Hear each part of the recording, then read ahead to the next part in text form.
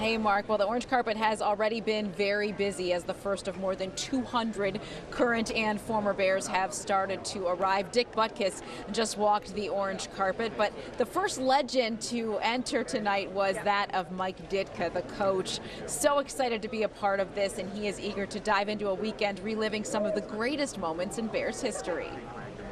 I think it's great. I mean, to be a part of the celebration. I played in the league a long time ago and got the coach in the league for uh, for the Bears. I was hired by Mr. Halas twice, and uh, it was the greatest time of my life. And I really, uh, I had a great time with the Bears. And we were fortunate that we had a good football team. We had a lot of great players here, and uh, so we did we did well for a while. You don't take life for granted.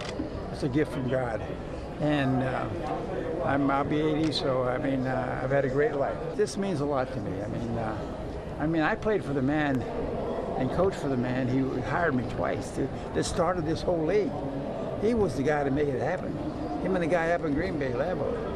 So I mean, it's uh, pretty special.